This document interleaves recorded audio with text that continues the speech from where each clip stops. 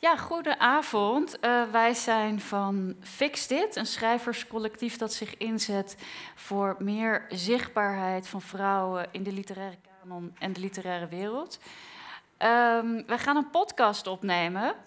En dat betekent dat we daar ook een bepaalde uh, format voor hebben. En uh, we af en toe misschien denken: oké, ik heb nu gestotterd, ik ga dit even hernemen, want we kunnen namelijk later monteren. Dus dat is, doet misschien een beetje vreemd aan, maar dan begrijpen jullie waarom dat is. En uh, wij hebben een hele serie van podcasts al gemaakt, uh, de Fix Dit podcast, allemaal terug te luisteren in je favoriete podcast-app. en uh, in elke podcast belichten we eigenlijk een uh, literaire klassieker geschreven door een vrouw. Um, we beginnen elke podcast met een korte anekdote. En die eerste uh, wordt door Rashida verteld. We hebben het hier ook. Of wil je het. Ja. Gsm zoeken. Ah ja, oké. Dus ja, dus we gaan, uh, gaan daar nu mee beginnen. Toen Noël zes was, vroeg de leraar op school om haar familienaam op te schrijven. Noël Zainab beschreef ze op, naar de naam van haar moeder. De leerkracht doorstreepte de naam en maande haar boos aan de naam op te schrijven van haar grootvader of haar vader en niet haar moeder. Het doorstrepen van haar moeders naam ervoer Nawal el-Sadawi als bijzonder gewelddadig. Ze begreep niet waarom haar moeders naam weggewist werd, terwijl het zij was die haar had leren lezen en schrijven en die haar ter wereld had gebracht. Deze gebeurtenis was Nawels eerste bewuste confrontatie met het patriarchaat waar onze wereld doordrongen van is en Nawel zou er de rest van haar leven tegen strijden. Goedenavond, ik zit hier aan tafel op een podium in het Paard in Den Haag tijdens een winternachtenfestival georganiseerd door Writers Unlimited. We nemen deze keer een podcast op met publiek erbij. En wel over de Egyptische schrijver, feminist en arts Nawel El Sadawi, die vorig jaar op 90-jarige leeftijd is overleden.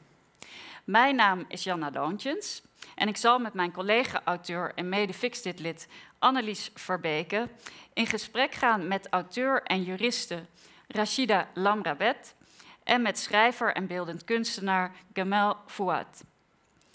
We zullen ons tijdens deze bespreking vooral richten op El Sadawi's duizelingwekkende, soms bijna hallucinatoire roman De Val van de Imam. Maar ook ander werk van haar zal aan bod komen.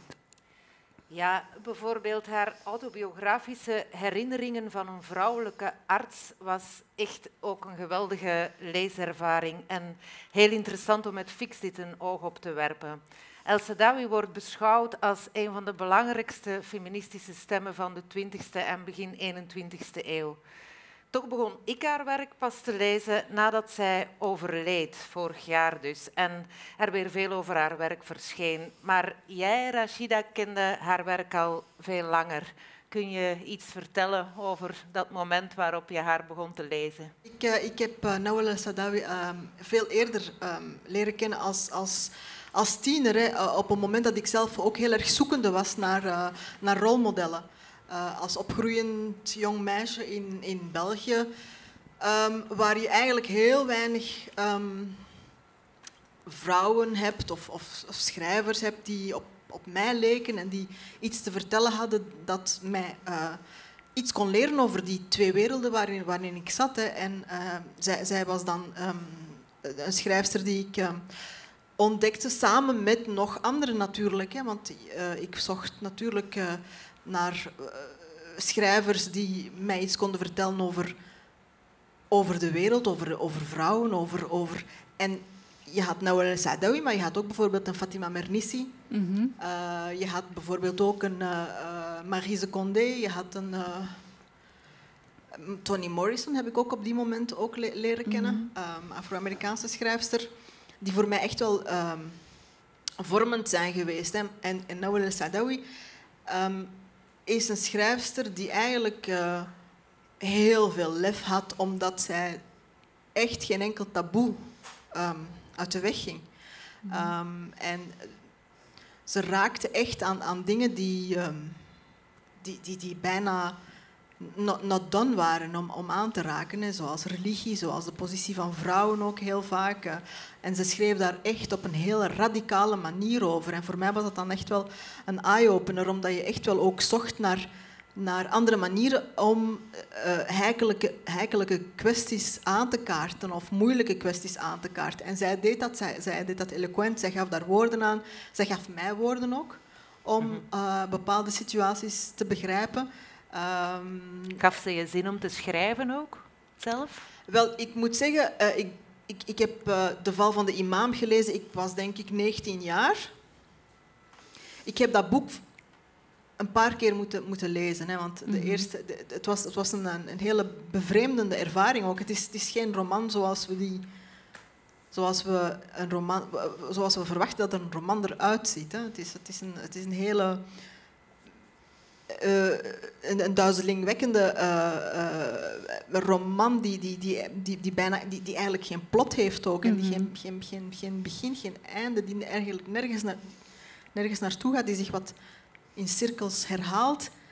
En voor mij was het heel verwarrend. Dus ik, eh, ik heb, ik heb ehm, dat boek gelezen en ik vond het super spannend, maar ik begreep er niks van. Mm. Ja, ja, ja. dat Het is geen makkelijk boek. Hè. Ik vind ook als volwassene om het te lezen, het, het vraagt eh, echt je aandacht. Maar ja, we gaan het zeker straks eh, nog eh, specifiek over, over dit boek hebben. Maar Ja. eh, Gamal, jij leerde haar werk later kennen. Wat, wat was jouw eerste indruk? Nou, ik, ik kan me eigenlijk met Rashida helemaal, ik ben het helemaal eens met jou in die zin. eh, eigenlijk toen ik het las, eh, leek het wel als, alsof ik het eh, al eerder kende in die zin. Mhm. Eh, omdat het- ik herkende gewoon heel veel uit de wereld die zij beschrijft. Laat maar zeggen, ook eh, vanuit mijn eigen belevingswereld. eh, hoe ik ben opgegroeid en opgevoed, dat soort dingen. En eh, het was eigenlijk een feest van herkenning. En als ik nu ook naar mijn eigen werk eh, kijk, dan, dan ja, zonder dat ik bewust was van haar taal, laat maar zeggen, en haar werk, eh, eh, herkende ik daar toch, ja, er zaten heel veel overeenkomsten. tussen. Wat herkende je dan precies? Nou ja, eh, nou ja, de manier waarop ze inderdaad dus opstaat eh, tegen onrecht. Mm. Eh, in welke vorm dan ook. Ik denk dat dat ook een van haar drijfveren is geweest, zeggen we nu. Een vrouw die niet tegen onrecht kan en, en daar gewag van wil maken in haar werk. Mhm. En, zeer bewonderenswaardig. En, eh, Nou wel, El Sadawi is ook echt een beroemdheid. Eh, ik, eh, ja, ter voorbereiding van de podcast ging ik op zoek op, op YouTube en daar is zoveel te vinden. Ook echt een aanrader voor mensen, want eh, ja, ze is een bijzonder boeiende spreker en ze is heel vaak geïnterviewd. En eh, er is bijvoorbeeld zo'n interview dat ooit op eh, Channel 4 is geweest, dat je op YouTube kunt bekijken. En eh, daar zegt ze dat haar rebellie tegen het patriarchaat is geworteld in haar kindertijd, waar ze het er niet mee eens was dat haar luie broer zoveel meer mocht als zij. Eh, en dat is ook iets trouwens wat in herinneringen van een vrouwelijke arts naar voren komt. Ja. Nee, dat is inderdaad een heel mooi interview. En ze heeft het daarin ook over eigenlijk het giftige huwelijk tussen het patriarchaat en het kapitalisme. En toch zegt ze ook van, hè, ehm, je moet vooral niet in pessimisme vervallen. Want hoop is het enige wat eigenlijk macht geeft. Ehm, maar goed, we zullen het daar straks nog meer over hebben. Nog even terug naar eh, de val van de imam. Ehm, kan een van jullie misschien eh, voor de mensen in het publiek die het boek wellicht niet kennen, eh, vertellen wat voor boek het is, hè, waar, het, waar het over gaat? nou, ik, ik wil best een poging wagen. ja, Maar zoals jullie al hoorden, nou, het, het boek is in ieder geval voor nou, na één keer lezen, hè, dan eh, denk ik van nou, lees het alsjeblieft gewoon een paar keer, want je ziet steeds weer andere dingen. Maar in het kort, het verhaal speelt zich af in een fictief islamitisch land. Dat wordt ge- geregeerd door de imam, een van de hoofdpersonages in het boek. Mhm. En de imam regeert het land met harde hand. Eh, wat we uit het boek eh, leren kennen is dat de imam zelf in armoede opgroeide. En zoals vaak het geval is met dictators, uh, leidt hij aan een minderwaardigheidscomplex. Dat las ik er althans in. Daar, daarnaast is het ook nog een, een haatdragende hypocriet, laat maar zeggen. en hij staat dus aan het hoofd van een politieke partij, de Partij van God. Mm -hmm. En om meer democratisch te lijken, heeft hij ook een oppositiepartij opgericht, de Partij van de Duivel. Mm -hmm. Hij werd zich verder omringd, zoals dat gaat met dictators, uh, door een aantal personages die hem in het zadel moeten houden. Zoals de veiligheidschef, zijn lijfwacht. Uh, uh, secretaris. Ja, secretaris. er lopen allemaal figuren omheen die ook staan te springen in mijn, mijn inziens om zijn rol te kunnen overnemen. Maar daar kunnen we zo meteen wat meer over vertellen.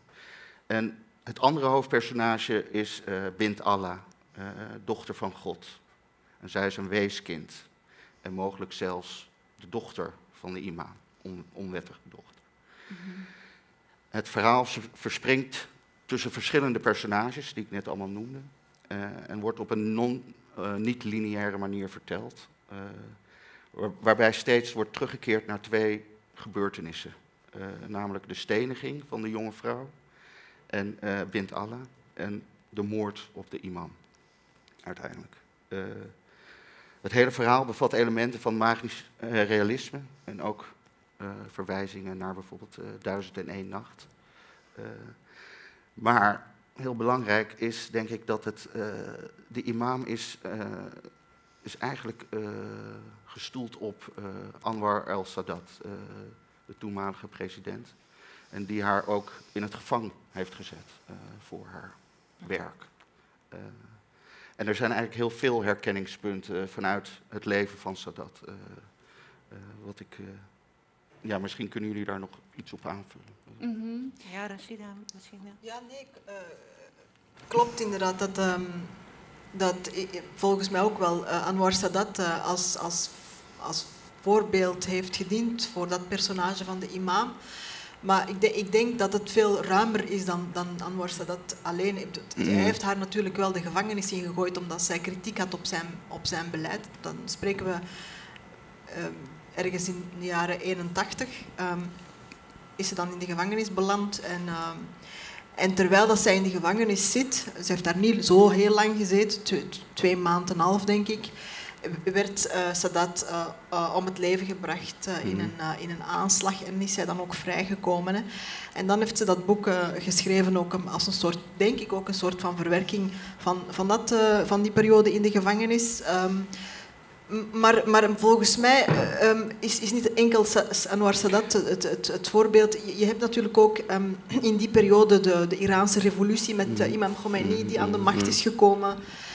Um, en die ja, echt wel de, de verzinnenbeelding is van de autoritaire uh, theocraat die uh, met Gods wil um, regeert. en dan heb je natuurlijk Sadat, die dan ja, meer dat, dat, ja, dat politieke ook erbij brengt. En, en, en de imam in, in Nawal al-Sadawi's roman is, is echt wel een, een mix van, van, van die twee, denk ik. De, de theocraat en dan de, de, de, de hardvochtige uh, uh, dictator. Um, en, en wat, wat, wat interessant is, is dat er inderdaad, het lijkt alsof er het verhaal nergens naartoe gaat. Hè? Dat er uh, een klassiek verhaal bouwt zich op en, en, en, en, en uh, er, is, er, is, er is een ontknoping. En hier, um, wat, wat, interessant is, is dat, is dat het niet het geval is. Hè? Je, je, je hebt een, een een, een bijna duivelse herhaling van steeds hetzelfde, steeds dezelfde uh, gebeurtenissen, namelijk uh,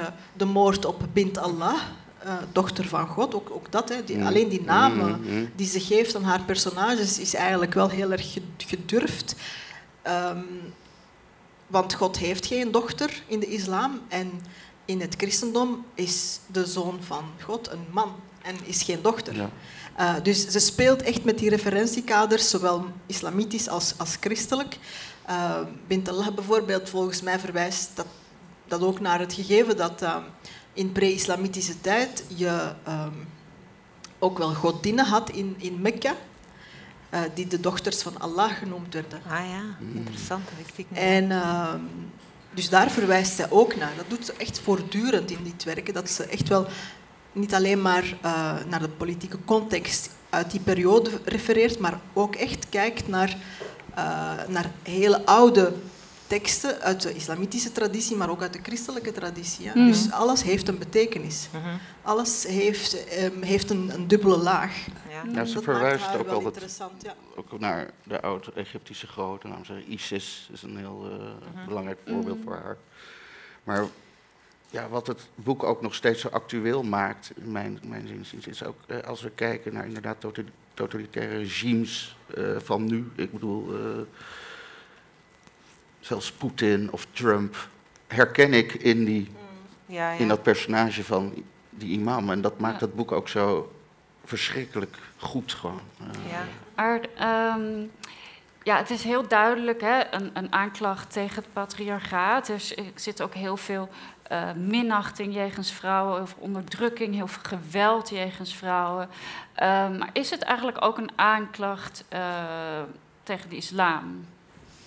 Wel, ik, ik denk, ik denk um, dat het een aanklacht is tegen het misbruiken van, van de islam. Het gebruiken van de islam door, door, door mannen met macht om hun macht te bestendigen of om hun macht te vergroten.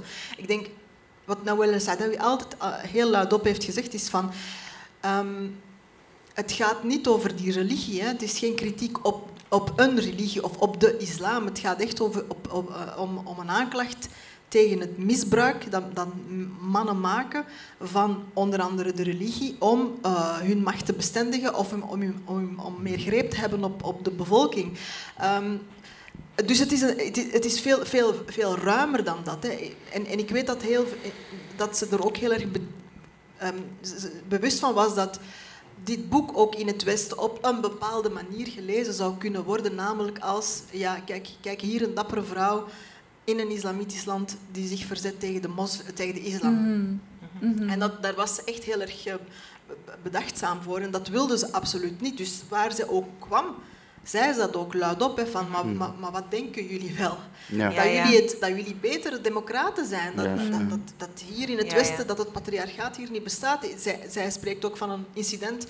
Um, heel lang geleden werd ze uitgenodigd in, in, in Montreal, in, in, uh, in Canada moesten gaan spreken voor een, een, hele, een zaal vol vrouwen over, ja, over het seksisme en het, en het patriarchaat en, en de onderdrukking in de, in de Arabische wereld. En daar heeft zij heel duidelijk gezegd van jongens, ze, ze draait de spiegel gewoon om. Hè, van, ja, ja. Maar denken jullie echt dat jullie dan zo, zo vrijgevochten zijn en ja. zo verlost zijn? Maar dat is niet. Hè. En dit, dit heeft met ons allemaal te maken. Dit is een universeel probleem. En ze is daar uitgejouwd geweest. Hè. Ze is daar mm. uitgejouwd geweest. Mm. Terwijl, uh... Terwijl het dat daar zo'n grote geest maakt, vind ik. Hè. Dat ze inderdaad, die interviews die ik met haar zag, ook altijd alles met alles verbindt. En, en zo, ja, zo moet je het eigenlijk ook bekijken. En wat ik ook echt interessant vond aan haar blik op het patriarchaat in uh, de val van de imam ik, ik zag het bijna, je zei hier juist iets over een duivelse herhaling. En ik vond zo, eigenlijk stelt zij het patriarchaat voor als een race mannen die elkaar imiteren en die elkaars macht imiteren. En dan letterlijk ook bijna. Je hebt dan die lijfwacht die een masker opzet, waardoor hij niet meer van die imam te onderscheiden valt. En mm -hmm. ja, dat vond ik wel heel boeiend ook. Zo. Die imam die dan moet doen alsof hij God vertegenwoordigt. Ja. Echt. En dan al die mensen daar rond die moeten doen alsof ze de imam zijn bijna. Ja, ja, ja ik vond dat... Het is uh, echt wel heel... Um, heel verwarrend, omdat niets is wat het lijkt in zo'n dictatuur. Hè. Je mm -hmm. ziet iets maar, en je denkt dat je iets ziet, maar eigenlijk mm -hmm. verbergt het iets anders. Ja, ja. Iets dat bedreigend, bedreigend is, iets dat, wat niet is wat, wat het zegt te zijn. En, ja. en dat is natuurlijk iets wat, wat denk ik een heel ja, een kenmerk is van, van zo'n dictatuur. Er zijn geen zekerheden meer, er zijn geen duidelijkheden meer. Je kan op niets aan. Hè. Ik bedoel, um, er is willekeur. Um, en dat is denk ik wat ze probeerde te, te, te, zeggen in, in dat boek. En ze laat ook heel mooi eigenlijk de tragiek ervan zien. Ook van dat imiteren. Dat, dat die mannen elkaar allemaal imiteren. Maar dat moet al van jongs af aan. Vanaf dat ze een heel klein jongetje zijn. En dat laat ze ook zien dat die hele kleine jongetjes. die willen dat eigenlijk helemaal niet. Die willen eigenlijk helemaal niet als hun vader worden. Die willen eigenlijk gekoesterd worden door hun moeders. Maar ze worden dan gedwongen door hun vaders. En zelfs ook met, met, met slagen en. en, en ja, met, met harde hand, met de dwang, uh, om dus een man te worden. En ze laat ook die tragiek ook eigenlijk op die manier voor de mannen zelf zien. Hè?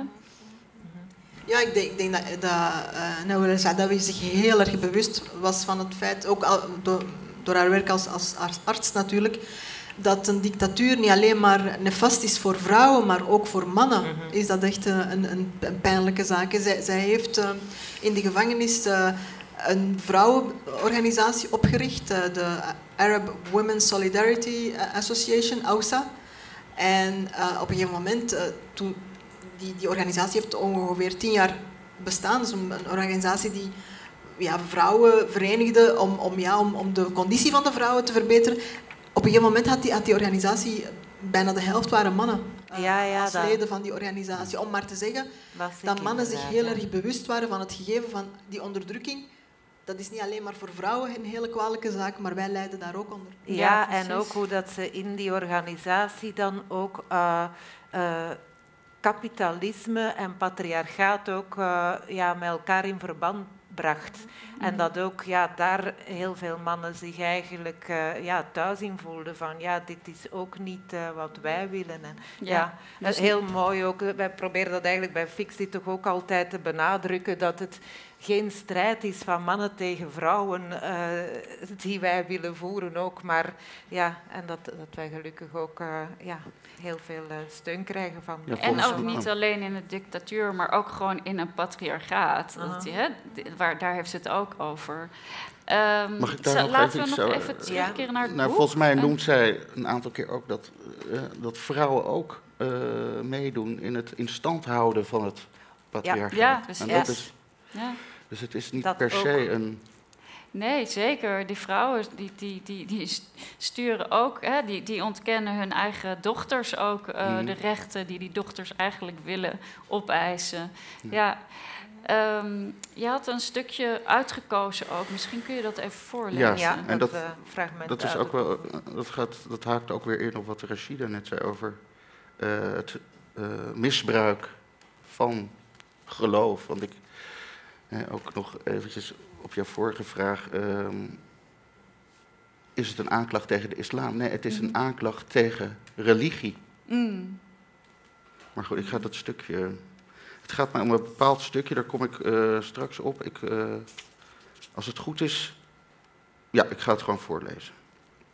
Dit komt uit het hoofdstuk uh, Het oude gezicht van Baba. Haar stem was nauwelijks te horen, want ze klonk niet luider dan haar ademhaling.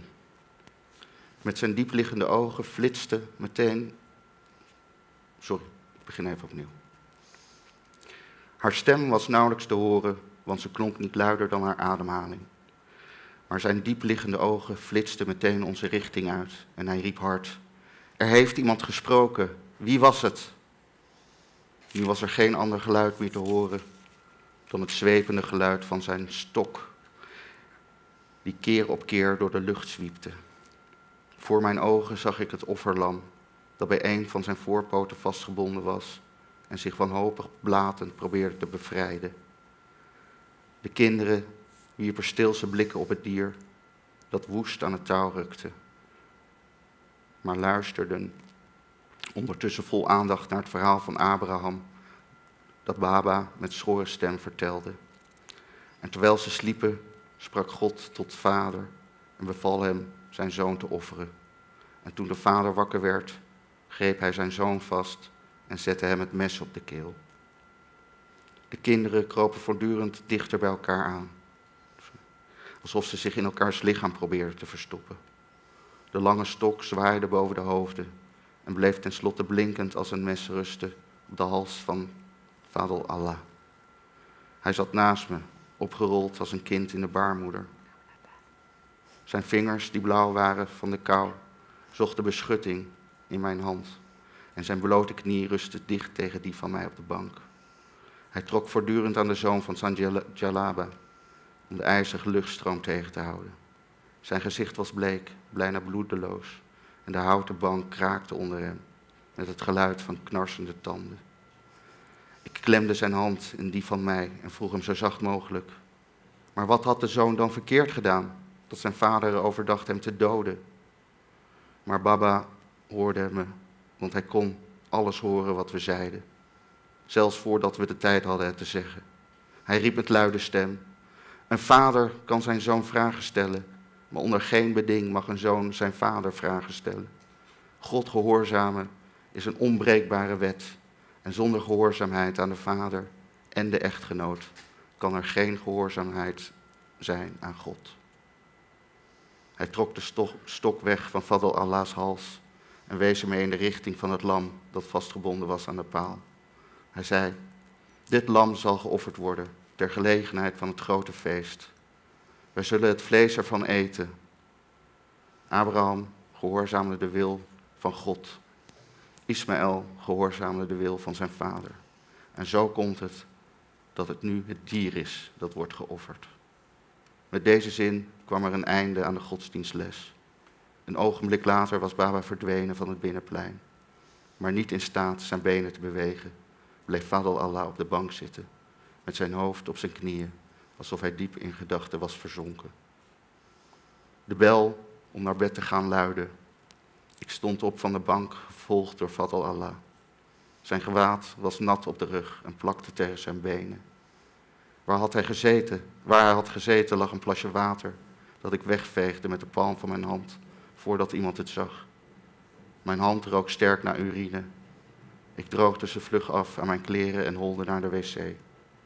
Door het raam zag ik in de verte de strafcel op het binnenplein en daarachter de koepel van de kerk en de minaret van de moskee. De cel lag verborgen onder de schaduw van een enorme boom, omringd door een soort donkere nevel, zodat de muren bijna onzichtbaar waren. Er hing een duistere, mysterieuze sfeer. De deur van geel geverfd hout had een metalen klink en op de deurklink zaten oude vlekken die op gedroogd bloed leken. Oké, dankjewel uh, Kemal. Het was goed om even ja, een fragment uit het boek te horen, omdat ja, misschien uh, hebben veel mensen bij schrijvers die tevens die activistische kant hebben, het idee dat die dan eerder journalistiek schrijven of zo. Terwijl bij haar is toch ook wel echt een uitgesproken literaire stijl. En misschien moeten we het echt eens over, over die stijl hebben. Um, ja, ik vond, ik vond zelf dat er iets heel uh, ja, bedwelmend, uh, kaleidoscopisch in mm. zit. Uh, ja. Is dat elliptische. Hè, ja, ja het stukje wat jij voorlas was trouwens ook echt hartverscheurend. Hè? Want het gaat hier om hele jonge kinderen die dan zo in, in een weeshuis zitten. Ja. Maar inderdaad, die stijl, die is ook, er zit ook een heel krachtig ritme in. Hè? En, en jij sprak net al over die imitaties, maar er zit ook heel veel herhalingen in. En, mhm. en er wordt steeds, worden dezelfde, een beetje dezelfde gebeurtenissen worden, worden steeds opnieuw verteld. Waardoor het ook een soort, ja, iets bezwerends mhm. krijgt eigenlijk. Mhm. En steeds vanuit een ander perspectief. Ja, nee, inderdaad. Het is, um, bij momenten moet je echt... Uh, je aandacht erbij houden om, om, uh, om goed te kunnen volgen. Want het is niet altijd duidelijk over wie ze het dan heeft. Mm Zelfs over Bint Allah, um, die, de, de, de scène dat ze wordt uh, neergeschoten, nee, um, gestenigd, um, gedood. Die, die komt voortdurend terug in het boek. En, en, maar soms twijfel ik, gaat het nu over Bint Allah of gaat het over haar moeder? Ja, ja. ja. En, want die moeder die is ook vermoord geweest. Precies, ja. En wat, wat, wat beschrijft de schrijfster hier, is dat nu de, de, de, de moord op de dochter of de moord op, op, de, op de moeder? Dus dat is heel erg verwarrend soms. En ook zo, waarom, waarom die herhaling heel de tijd? Wat wil ze ons daarmee zeggen ook? Hè? Ik bedoel, eh, als je het hebt over dystopische romans, want dit is de, voor mij een dystopische mhm. roman. Uh, ja, dan, dan zou je zeggen van je krijgt een, een, een beeld van, van, van een wereld en, en je gaat ergens naartoe. Hè. Het gaat ergens naartoe, maar bij, bij haar herhaalt het zich ja. voortdurend. En, en wat willen ze ons daarmee mee zeggen, vraag ik mij dan af. Hè. En, en, en elke keer vertelt ze die scène dan op een licht, lichtelijk andere manier. Vanuit de, ze verandert een detail of uh, het perspectief verandert. Mm -hmm. um, dan is het in, in, de eerste persoon verteld, dan in de derde persoon. Ja. het is ook heel beklemmend, hè? Je kan er niet uit. Ook, ja. Het is echt... En het Gevangenschap is zo... in, in, in het, de manier van schrijven ook. In de vorm zit je ook gevangen van. Ja. Echt een nachtmerrie ook wel, vond ik. Ja, het is, het is echt een nachtmerrie die, die, die niet ophoudt. Maar anderzijds, en, zoals je zegt, hè, um, zij is, de schrijfster zelf is heel erg hoopvol ook. Hè? Mhm. Ja. En, en ik denk, het feit dat, dat Bint Allah keer op keer wordt vermoord, maar terugkomt, mhm. dat is een teken van hoop ook. Van, kijk, ik, ik, um, ik ben, ik herreis elke keer opnieuw. Ja, ja, ja dat ik is waar natuurlijk. Ja, mm -hmm. Ja nou wel, El Sadawi um, staat inderdaad dus niet alleen bekend als, als, als romancier, maar ook als polemist, als activiste. En uh, mijn vriend uh, Jamal Mahjoub, die is ook schrijver, die heeft haar meerdere keren ontmoet en die beschreef haar ook als een buitengewoon krachtige, sterke vrouw. Um, die erg helder en heel goed kon spreken. En het was ook echt iemand uh, aan wie je merkte dat ze haar hele leven enorm heeft moeten strijden.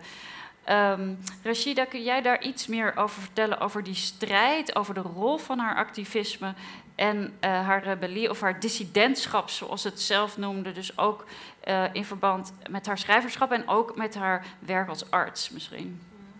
Ja, ik, ik um, ja, nou, Noël uh, is, is van in het begin eigenlijk dissident geworden. Hè. Dat fragmentje dat ik heb um, voorgelezen over, over de naam, hè, dat, dat zij inderdaad de naam van haar moeder wilde opschrijven, omdat ze zich meer verwant voelde met haar moeder dan met haar vader of haar grootvader. ze was amper zes jaar, hè. ze is pas, pas leren schrijven en, en zes jaar. En toen al besefte ze van hier, hier is iets niet in de haak als de meester op, op zo'n gewelddadige manier de naam van mijn moeder wegwist, ja, dan is hier iets aan, aan, de, aan, aan de hand waar ik niet mee kan akkoord zijn en waar ik mij tegen ga verzetten. En dat heeft ze eigenlijk van, van in het begin ook, eh, ook gedaan. En, um, dat, dat, dat, voorbeeld ook met de broer die, die dan minder intelligent is, en, maar toch veel meer privileges krijgt dan haar. Ook dat zijn dingen die, die, uh, die haar heel erg tegensteken. En wat ze ook zegt is van, zij is van in het begin eigenlijk ook gewoon feministe uh, geworden. Um, en ook iets waar zij ook altijd luidop zegt van feminisme is geen westerse uitvinding.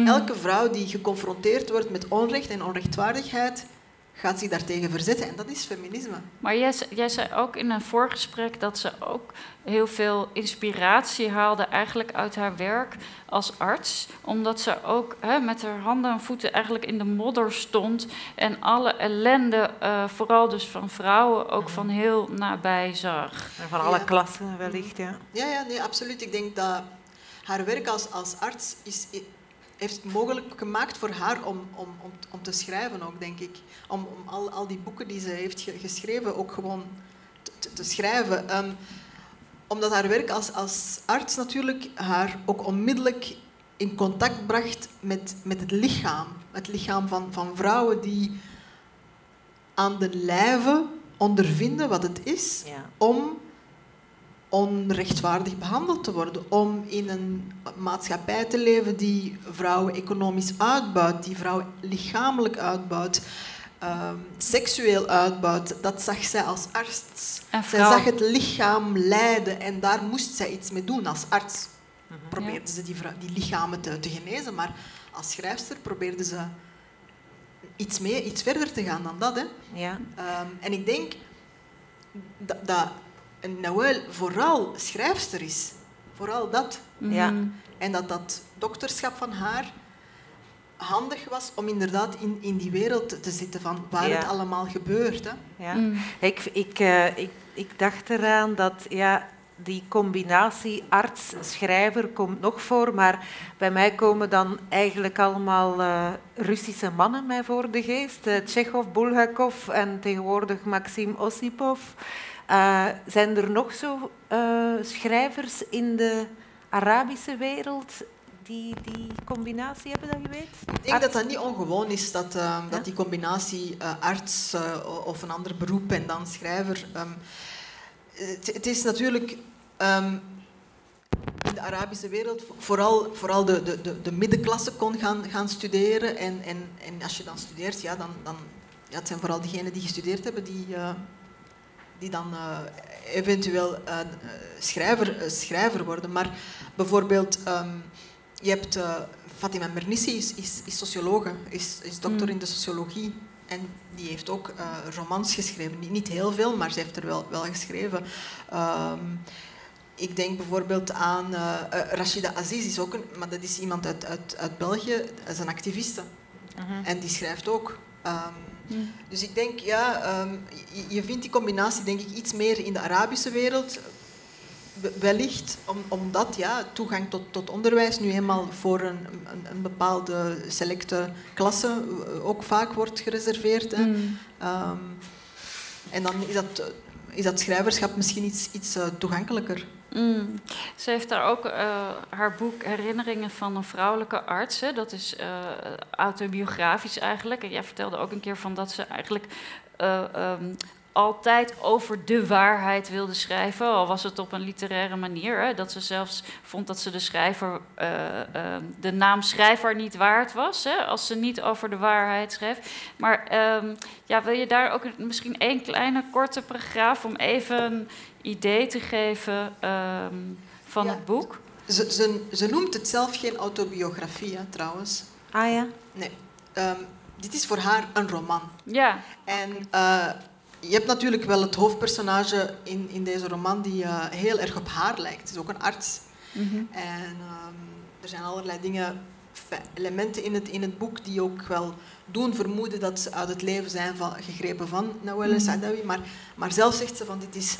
Het, gaat, het ging toch zelfs zover dat ze ook geen onderscheid maakt tussen fictie en non-fictie. Ja, dat zegt ze in veel interviews inderdaad. Ja. Uh, wijst ze daarop van, uh, dat ook fictie, ook de val van de imam, dat dat ook een waarheid onder woorden brengen is. Sowieso, en dat, ja. ja. dat is Sowieso, natuurlijk zo. zegt ze van ja, inderdaad. Uh, ik, en ze maakt daar ook geen onderscheid in. Maar het feit is natuurlijk wel dat, dat zij zegt van. Um, fictie geeft haar natuurlijk wel meer ruimte om, om, uh, om, om, om het verhaal te vertellen. Hè. Um, mm. Alles wat ze, ze schrijft komt uit het leven gegrepen. Hè. Hier heb je bijvoorbeeld Woman at Point Zero ook een fantastisch boek um, dat zich um, afspeelt in. Uh, dat gaat over een ontmoeting tussen de arts, het hoofdpersonage in dit boek, met een, uh, met een gevangene uh, uit de Qanatir-gevangenis in Cairo. een vrouw die ter dood veroordeeld is omdat ze haar pooier omgebracht heeft. En, en het hoofdpersonage, de arts, bezoekt dan die. die ehm, die vrouw die ter dood veroordeeld is om, om in het kader van een onderzoek.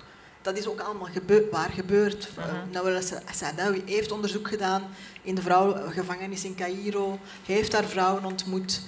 Uh, maar het is, het is fictie, het is, het is gefictionaliseerd. Ja. Maar elke, je zou ook kunnen zeggen natuurlijk dat elke autobiografie is natuurlijk mm -hmm. ook deels fictief. Hè? Ja. Ik bedoel, zodra je gaat schrijven. Ze hebben wel ook foto's opgenomen in, het, in ja, dit boek van haar, van jonge leeftijd. Mm -hmm. En dus het doet wel heel erg aan als een autobiografisch Maar ook boek. dat, hè, dat, dat is maar, natuurlijk iets waar, waar, ze, waar ze ook altijd wel bedenkingen bij heeft. Want haar werk is natuurlijk vertaald, ze schrijft in het Arabisch. En haar werk is in verschillende talen vertaald, maar uh, waar ze zich heel vaak over bekloeg was van niemand consulteert mij als het gaat over de titel bijvoorbeeld. Ah, of ja. over ja. de cover. Hè. En ja. ja. is ja. vreselijk dat ja, dit dat bijvoorbeeld... heel goed, ja. dat, dat men dit beeld gebruikt. voor, uh, de, voor de luisteraars. Ja. Een gehoofddoekte vrouw. Dat zou zij nooit, nooit, nooit, nooit toelaten. Maar kijk, ze zegt, ze, dat wordt beslist boven mijn hoofd en ik heb daar eigenlijk niks meer mm -hmm. uh, in te beslissen. En ook dit, hè, um, herinneringen uh, van een vrouwelijke arts, daar zitten inderdaad foto's in. In hoeverre is dat eigenlijk toegestaan, toege, mm. ingestemd met, ja. door uh, Nawel Sadawi? Dat weten we dus niet. Ja. Wat ook interessant is aan dit boek, want dit is geschreven in 57. Dus hij was pas afgestudeerd als arts. Uh -huh. En dat is verschenen als een, als een, als een feuilleton in een, in een, in een tijdschrift. En ook daar heeft ze eigenlijk heel uh, verregaande uh, dingen geschreven over de religie en over de islam en over misbruik van de islam. Dat is er allemaal uitgefilterd ge mm -hmm. geworden. Uh, dat was de voorwaarde om, om het dan te laten verschijnen als feuilleton. daar is, heeft ze mee ingestemd. als beginnende schrijfster dacht ze van, ja kijk, laat ik dat dan maar doen, want dan verschijnt het tenminste. En dan achteraf um, wilden ze het in boekvorm uitgeven, in, ik geloof bij een Libanese uitgeverij, maar dan het, het, het originele. En daar, dat is men ook geweigerd. Dat is men geweigerd, dus we hebben hier eigenlijk het gecensureerde uh, verhaal, want achteraf heeft ze dat willen uh, in, zijn, in zijn integraliteit uitgeven, veel later, maar ze vond het manuscript niet meer. Mhm. En dus het, het, origineel is verdwenen. We hebben dus enkel het gecensureerde, de gecensureerde versie. Misschien nog ook uh, een goed moment om even een oproep te doen aan uitgevers. Uh, bij uitgeverij De Geus is weliswaar echt heel veel van Nawal El Sadawi verschenen uh, over de jaren. wel soms rechtstreeks uit Arabisch vertaald, soms uit Engels vertaald. Vreemd ook een beetje. Maar um, ja, wij hopen dat zij toch opnieuw wordt uitgegeven, want ze is nu vorig jaar overleden. Haar werk was weer volop in de aandacht. En eigenlijk is er op dit moment uh, geen enkel boek van haar dat je nog kunt bestellen in het Nederlands. Uh, je kunt natuurlijk, zoals wij, op zoek gaan naar tweedehands exemplaren. Maar ja, toch een oproep aan de uitgevers van... Hey, geef Nawal El Sadawi opnieuw uit. Uh, ja, geef haar ook uit uh, in een vertaling die rechtstreeks uit Arabisch is gebeurd. Uh, we wachten daar toch echt wel op. het is echt een, een grootheid die er hoort te zijn, hè, die toegankelijk hoort te zijn. Mm.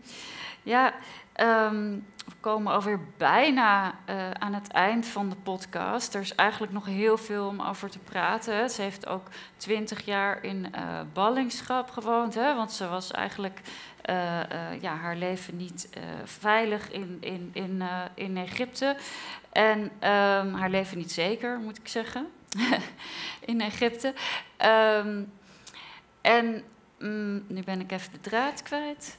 Mag ik ook nog even iets zeggen?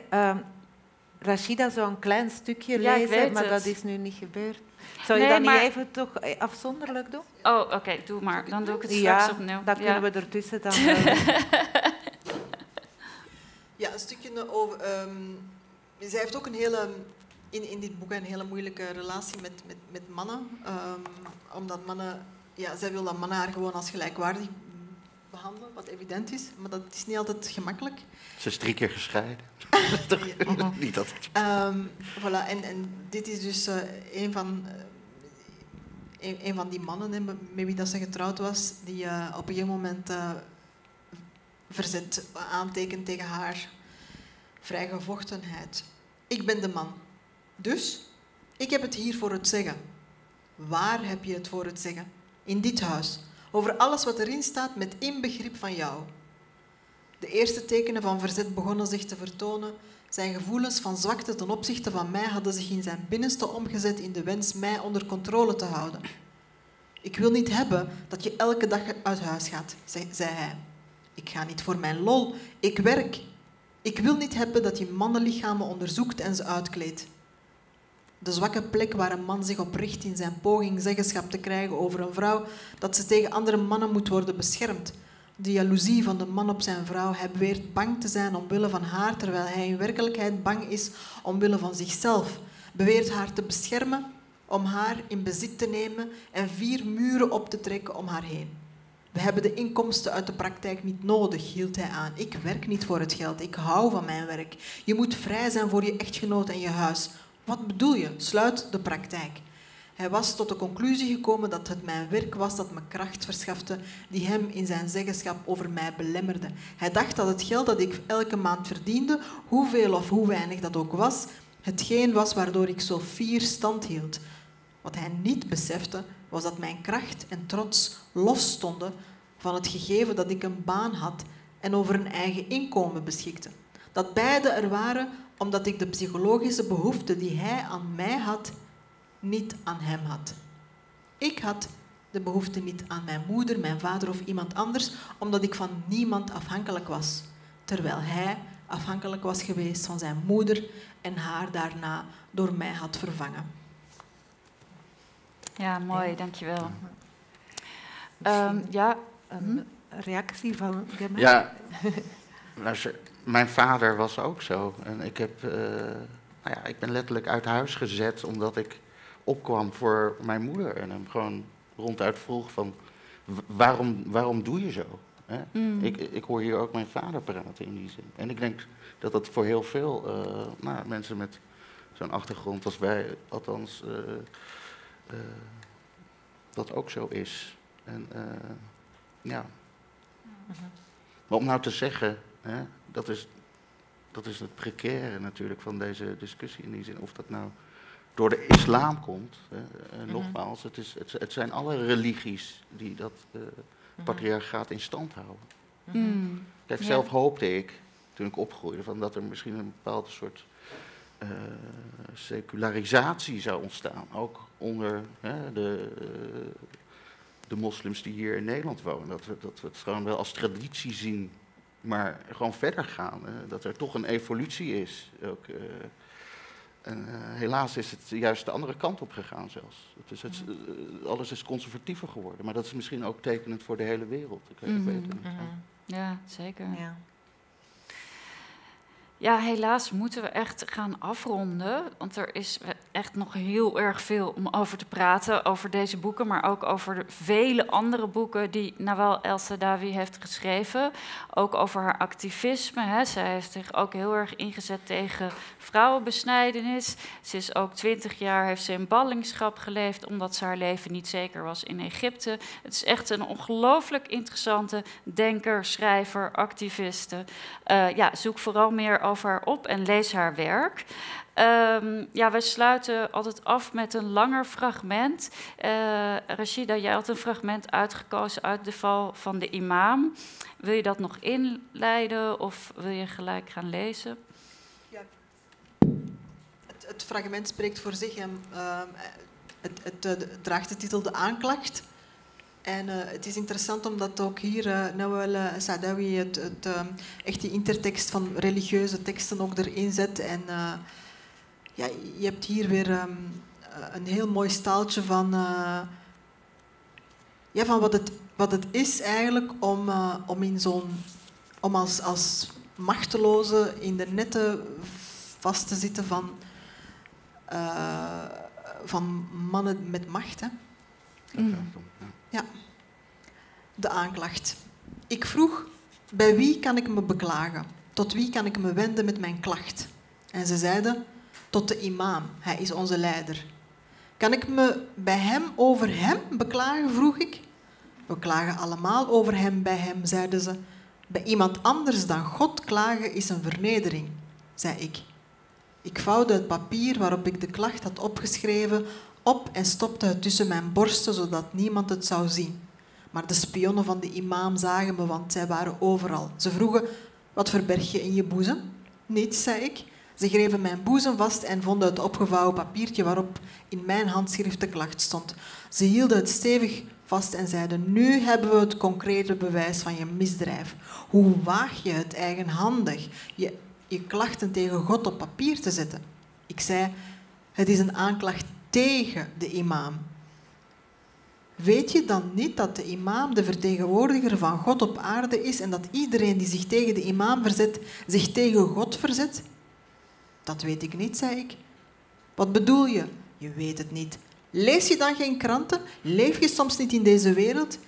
Ik lees jullie kranten niet en ik leef niet in jullie wereld, zei ik dat is nog een ketterij, nog, nog een misdrijf. Iedereen die ons iets brengt dat we voorheen niet hadden, veroorzaakt kwaad en zweert samen om chaos te creëren. En wie samen zweert, is een veel gevaarlijker misdadiger dan een moordenaar.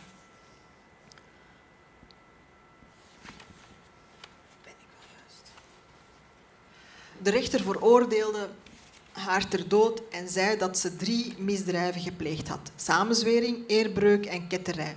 Voor ze het vonnis uitvoerde en het gebed van de afwezige voor haar ziel baden, vroegen ze haar op heel vriendelijke toon: Wat wil je voor, voor je deze wereld vaarwel zegt? Ze zei: Ik wil een openbaar proces en een rechtsgeldige verdediging. Ze zeiden: We hebben een rechtsgeldige oppositie, maar we hebben nog nooit gehoord van een rechtsgeldige verdediging. Ze verdwenen en kwamen terug met de leider van de officiële oppositie. Hij stond voor haar met een witte tulband op zijn, om zijn hoofd, het symbool van zijn toewijding aan de rechtvaardigheid. Op zijn borst had hij een rode ster gespeld, de officiële badge van de Hizb Shaitan. Ik sta tot je beschikking, zei hij flauwtjes. Ze keek hem in de ogen en zei: Ik ben onschuldig, ik heb geen misdaad gepleegd. Ik heb geen vader, geen moeder. Maar hij onderbrak haar meteen: Geen vader? Nee, zei ze, geen vader. Hij wachtte even, schudde dan langzaam zijn hoofd en zei: Dat is werkelijk een catastrofe en God kan je die alleen maar met een bepaalde bedoeling gezonden hebben. Want het vers zegt: We hebben u, ram, u de rampspoed van het kwaad gezonden, want het goede kan u in bekoring brengen. Ken je dat vers niet? vroeg hij. Nee, zei, zei, nee, zei ze, ik ken het niet. Het is een heel bekend vers. Het 35ste vers uit de Soera van de profeten. Heb je het nog echt nog nooit eerder gehoord? vroeg hij op een toon waarop diepe verbazing sprak. Ik ken het niet, hield ze staande. Het feit dat je dat vers niet kent is wel een grote zonde, zei hij. Je zou het uit je hoofd moeten leren voor je, voor je tijd om te sterven is gekomen. Alleen zo zul je naar de hemel gaan in plaats van naar de hel. Hij stak zijn handen in de zak van zijn dure broek, gemaakt van het beste materiaal, en haalde er een stuk papier en een vulpen met een gouden dopje uit. Hij hield de pen tussen de toppen van zijn fijne vingers, die dezelfde vorm hadden als die van wettige echtgenotes, en schreef in duidelijke zwarte letters op het vel. We hebben u de rampspoed van het goede gezonden, want het kwaad kan u in bekoring brengen. Daarna schroefde hij het gouden dopje weer op de pen, draaide het drie keer rond en stak de pen in de zak van zijn dure pantalon, waarna zijn vingers even glad en wit als altijd weer tevoorschijn kwamen. Toen sprak hij haar opnieuw aan en zei op zalvende toon: Zeg dit vers drie keer per dag, voor de maaltijd en drie keer per dag na de maaltijd op en dan zul je, als het God behaagt, in het paradijs komen. Ze hield het stukje papier tussen haar vingers als een kind dat zich vastklampt aan een strohalm op de woeste zeeën van het leven en reciteerde het vers dag en nacht, totdat ze het uit het hoofd had geleerd. Door een barst in de deur kon ze zien dat ze een put voor haar aan het graven waren. Toen ze haar dan met henneptouw vastbonden, bleef ze de hele tijd. We hebben u de rampspoed van het kwaad gezonden, want het goede kan u in bekoring brengen, opzeggen. Maar de oren van de imam hoorden haar, want hij had overal oren en hij was heel boos omdat hij hoorde. Maak je zelfs fouten als je de woorden van God citeert, zei hij. Welke fouten? Is het dan geen vers uit de Koran, zei ik. Alle fouten kunnen worden vergeven, behalve als ze betrekking hebben op de woorden van God, zei hij. De correcte woorden zijn: We hebben u de rampspoed van het kwaad gezonden, want het goede kan u in bekoring brengen. En jij zegt: We hebben u de rampspoed van het goede gezonden, want het kwaad kan u in bekoring brengen. En zodoende heb je een zware fout tegen God begaan, want de rampspoeden die hij, rampspoeden die hij zendt, kunnen alleen kwaad zijn, niet goed. Maar ik wist niet hoe het vers is, zei ik. Waar heb je dan de woorden van het verkeerde vers vandaan? vroeg hij. Van de leider van de officiële oppositie, zei ik. Je liegt. De leider van de legale oppositie zou zich nooit vergissen in de woorden van God. De imam drukte op de bel en meteen verscheen de leider van de officiële oppositie. Zijn hoofd gewikkeld in de witte tulband en de rode ster op zijn borst gespeld. Ja, heer, zei hij en de imam vroeg hem naar het vers. Maar de leider van de oppositie ontkende dat hij iets te maken had met deze vrouw. Ik ga alleen om met deugdzame vrouwen, zei hij. En ze geloofden hem allemaal zonder uitzondering. Of ze nu lid waren van de Hezbollah of lid van de Hezb Shaitan. En ze wilden niet geloven wat deze zondige vrouw had gezegd. Mooi, dankjewel. Dank u. dat was het. Nou, dat is onze podcast. Dankjewel voor het luisteren. Ja, dank jullie wel Mag ik allebei. jullie ook bedanken. Voor...